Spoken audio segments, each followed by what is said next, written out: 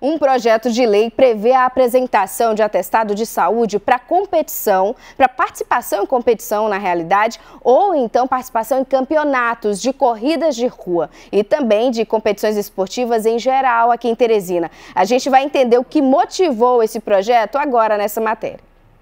A Ruth pratica ciclismo há cinco anos e recentemente participou pela primeira vez de uma corrida de rua. Ela, que se considera atleta amadora, conta que sempre faz questão de apresentar o laudo médico, comprovando que está apta a competir em qualquer modalidade. Nas competições em que eu já participei nessas modalidades, eu tive que apresentar esse laudo médico, esse atestado de saúde, onde o médico diz que eu tenho condições físicas e de saúde para participar de uma atividade como essa. Essas competições, elas acabam tendo um ritmo mais acelerado, uma intensidade maior, a gente exige muito mais, né, o de desempenho. E ter esse laudo médico é muito importante como eu disse, é, uma, é algo que vai servir não só para quem organiza as competições, né? Mas principalmente para a própria pessoa. O projeto de lei que tramita na Câmara de Teresina foi apresentado este mês aos vereadores em uma versão reformulada. A ideia é restringir a participação de candidatos que possuam alguma comorbidade que põe em risco a saúde durante a atividade física. Protocolo, onde faz as perguntas básicas, e se der um pergunta positivo, você tira a pessoa da competição. Então, já é um. E uma anamnese, saber o estilo de vida da pessoa. Então, então, você tem alguns cuidados básicos para que você possa continuar, é, ela poder participar.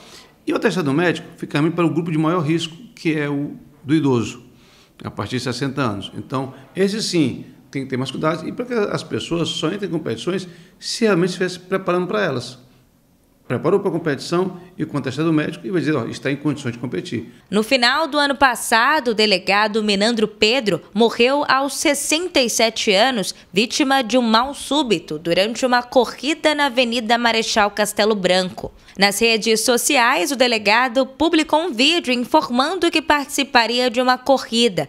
Ele relatou que nunca havia participado antes e que o objetivo era correr 15 quilômetros.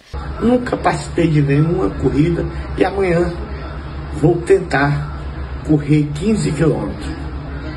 Espero completar esta corrida para incentivar aquelas pessoas que são idosas. Conforme especialistas, um erro de corredores iniciantes é não respeitar a capacidade física. A regra geral é fazer um aquecimento com exercícios de mobilidade e alongamento. Para quem está começando, a orientação é optar por caminhadas leves e ir aumentando aos poucos o tempo e o ritmo, até que se chegue ao objetivo almejado. O maior problema com, a, com o exercício físico é as pessoas acharem que não precisa de orientação acha que a atividade física por si só é boa. Ele é um risco que você tem. Então, vai fazer uma atividade física, procure um profissional de físico para poder te orientar. Porque a carga que você faz, exemplo, eu tenho 59, então eu vou sair, dando picos de corrida de 30 metros, feito louco, eu vou morrer. Então, qual é a atividade adequada para mim? Então, não é a atividade física por si que é um benefício, não. Eu tenho que saber o que é, que é bom para mim, para a minha condição física, dentro da minha idade, dentro da minha condição física e, logicamente, com avaliação cardiológica, se possível. Isso é o ideal.